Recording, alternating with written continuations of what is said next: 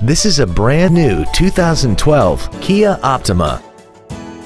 This four-door sedan has a six-speed automatic transmission and an inline four-cylinder engine. Its top features include a multi-link rear suspension, a sport suspension, traction control and stability control systems, hill start assist, commercial-free satellite radio, and a tire pressure monitoring system. The following features are also included. A multi-function display, air conditioning with automatic climate control, cruise control, a leather-wrapped shift knob, a chrome grille, front fog lights, rear impact crumple zones, an anti-lock braking system, a rear window defroster, and the HomeLink transceiver can be programmed to use the same frequency as your remote opening devices, such as the garage door, the entry gate, or even the living room lights, enabling you to control them right from the driver's seat.